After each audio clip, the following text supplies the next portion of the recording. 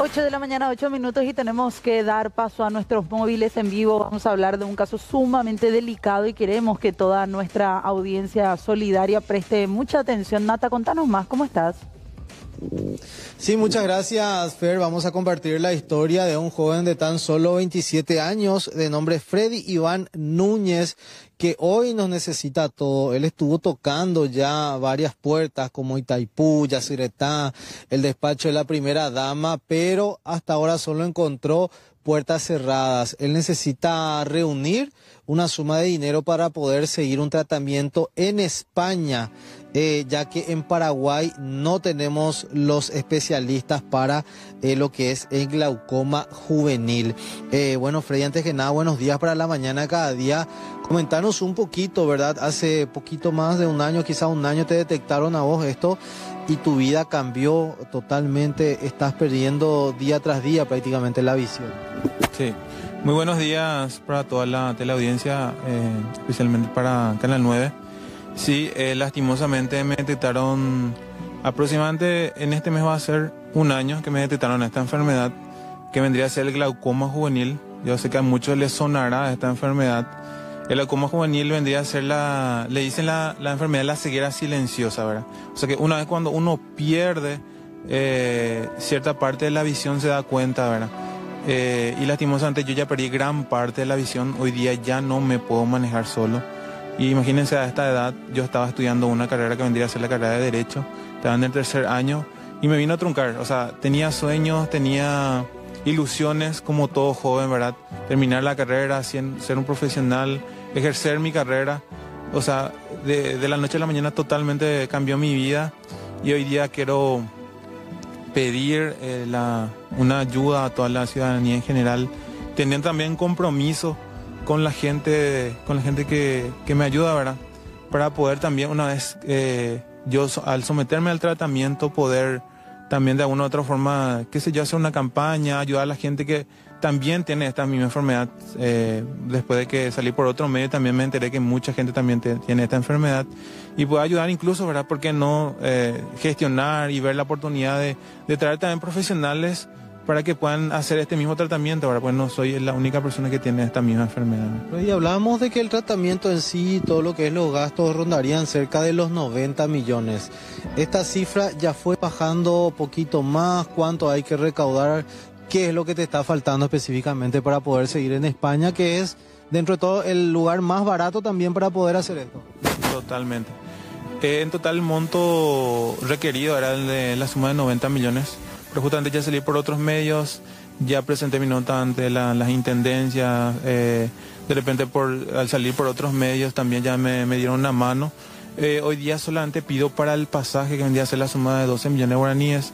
De repente si vea algún, alguna agencia de viaje me puede requerir. No, no precisamente pido eh, dinero, ¿verdad? sino que de repente alguna agencia de viaje me pueda dar de repente el pasaje y de repente cubrir el, cierto costo del de que piden de migraciones. ¿verdad? ¿Cuántos meses tenés que estar allá?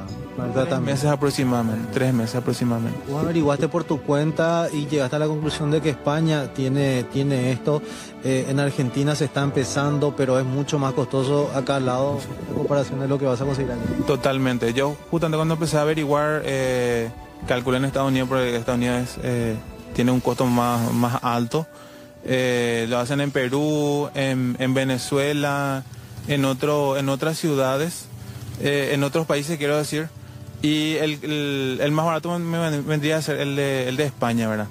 Eh, por eso justamente apunté y hice una campaña para, para poder irme a ese país, ¿verdad? Para poder someterme al tratamiento. Freddy, ahora vos estás en contrarreloj porque cada día que pasa la ceguera va aumentando y dentro de todo vos hoy estás con la posibilidad de quedarte con la visión que tenés, inclusive restaurar un poco más para, no sé, continuar tu estudio y hasta poder trabajar más adelante. Totalmente, por eso justamente trato de, darme ánimos, de poder decir que en esta vida es imposible, eh, por eso justamente quiero y pido a la ciudadanía en general que me ayude a alcanzar esta meta frenar esta enfermedad porque es una enfermedad degenerativa.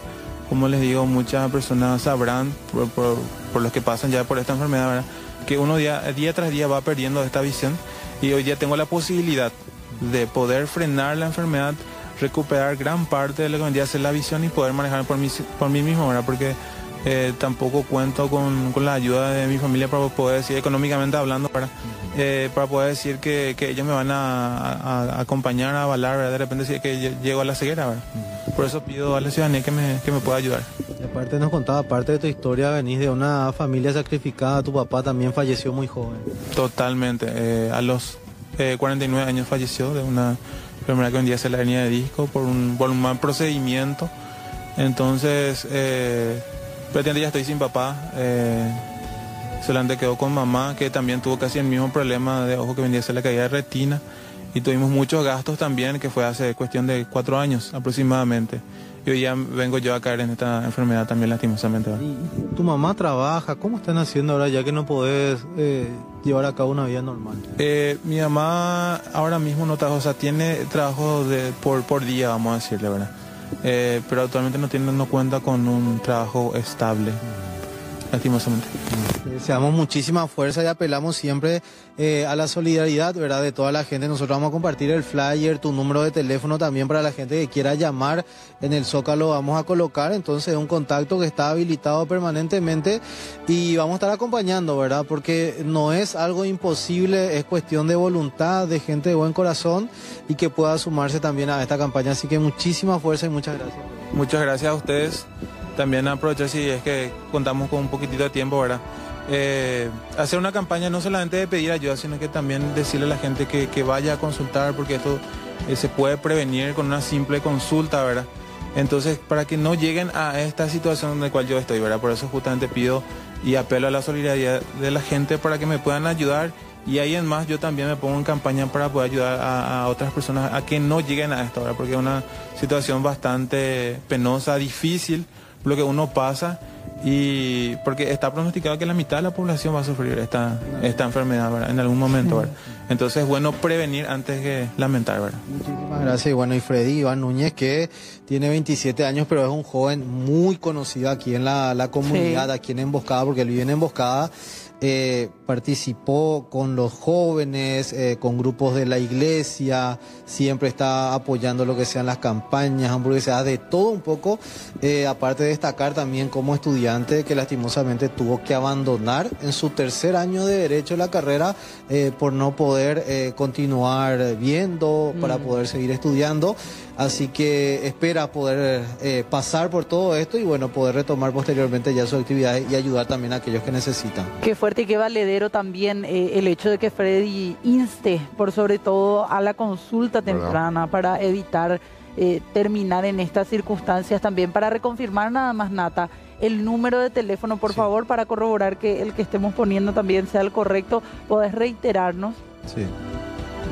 Sí, para reiterar tu número de teléfono. Sí, vendría a ser 0981 06 1087. Me pueden escribir ahí para, para más información, cómo me pueden ir ayudando. Espectacular. Bueno, ahí está el número de teléfono 0981 06 1087 ahí en pantalla para que la gente se pueda comunicar con él. Está atentísimo también eh, a ver si alguna agencia de viaje de por ahí dona los pasajes para ir a España, ¿verdad? Eh, ya va a ser un gran avance.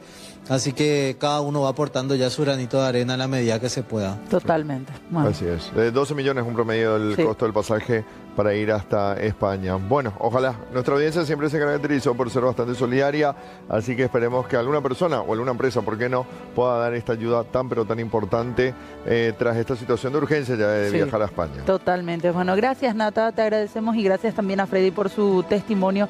Muy amables ambos. 8 de la mañana, 17 minutos, tenemos que cambiar de información, Chiche. Así